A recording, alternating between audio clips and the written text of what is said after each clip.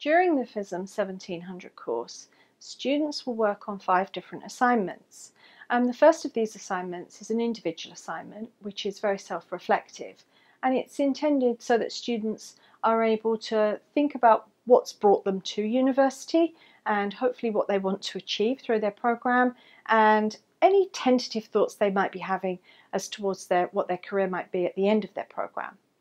They also work on a small group assignment where they will create a discussion post online for their peers to engage with and they will monitor that process and engage with their peers and provide feedback.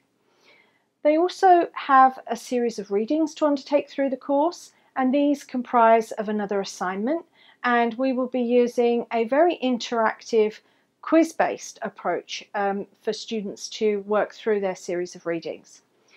There is also a individual presentation that students will create and this will enable them to learn more about labour market information and how that can be informative for them, um, both as they work through their undergraduate programme and in their time beyond their undergraduate programme when they're making their transitions and their next steps.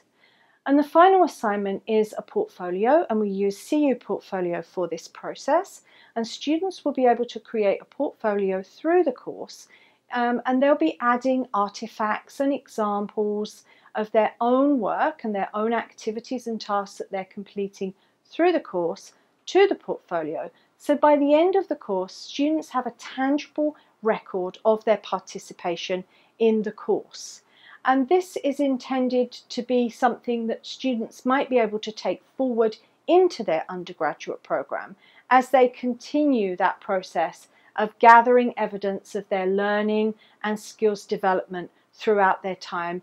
in the Faculty of Public Affairs at Carleton University.